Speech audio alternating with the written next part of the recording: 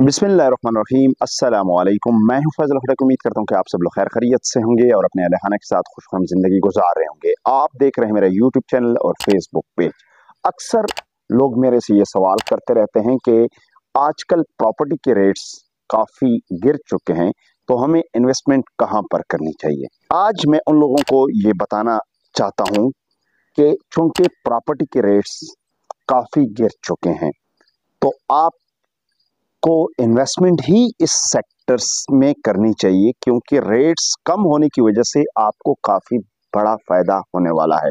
So this is the right time to take benefit from this sector अगर आप लोगों ने इकोनॉमिक का एक मशहूर कंसेप्ट ज़रूर पढ़ा होगा डिमांड एंड सप्लाई का, कि जब किसी चीज़ की सप्लाई ज़्यादा हो जाती है डिमांड्स कम हो तो उनके रेट्स कम हो जाते हैं।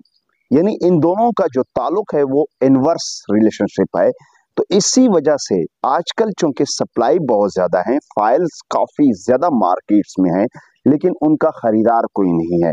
जब खरीदार नहीं है तो जो बेचने वाला है वो कम रेट्स में ही उसको ऑफ़र कर देता है बेचता है। तो लिहाजा अगर आपके पास कोई थोड़ी बहुत इन्वेस्टमेंट पड़ी है तो आप इस मौके से ज़रूर फ़ायदा उठाएँ। क्योंकि इकोनॉमिक रिसेशन चल रहा है।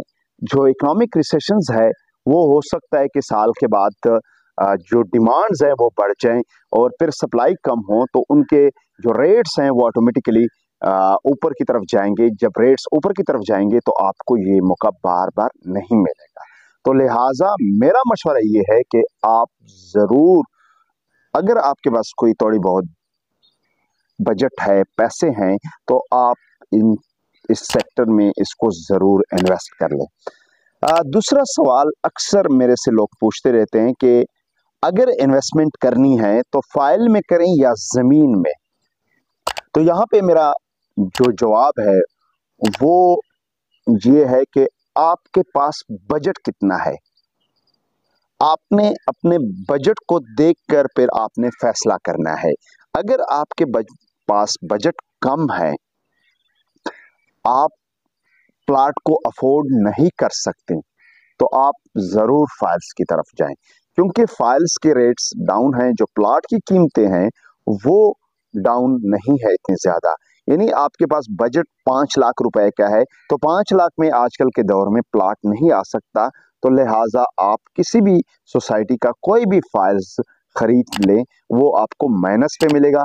जब माइनस पे मिलेगा तो आपको वहाँ से काफ़ी फ़ायदा मिल सकता है। हाँ अगर आपके पास तकरीबन 20 से 30 लाख के रुपए हैं 30 लाख रुपए हैं तो आप प्लाट की तरफ़ जा सकते हैं। तो ये लिहाजा ये जो सवाल है, ये आपके बजट के ऊपर है कि आपके पास बजट कितना है।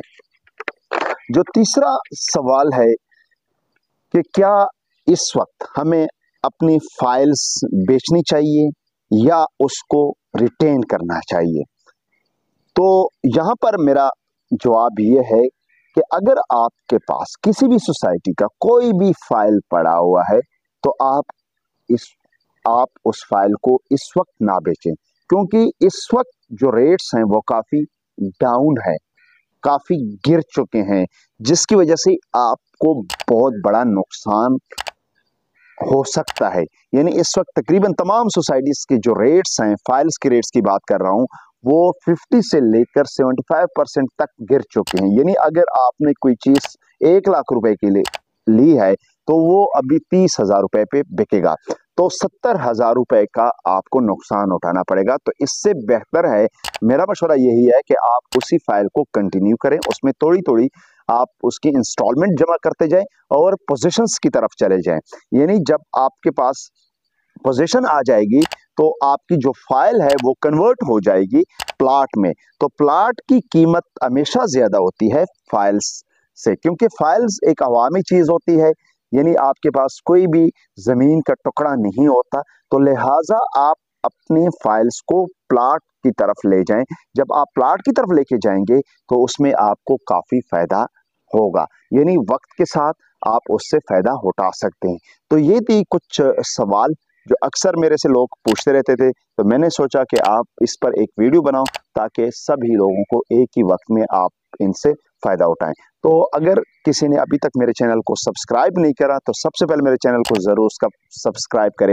इसके अलावा अगर मेरी वीडियो आपको अच्छी लगे तो इसको अपने दोस्तों के साथ ज़रूर शेयर कर लें। तो इसी के साथ मैं आपसे इजाज़त चाहता हूँ। शुक्रिया। खुदा हाफिज़।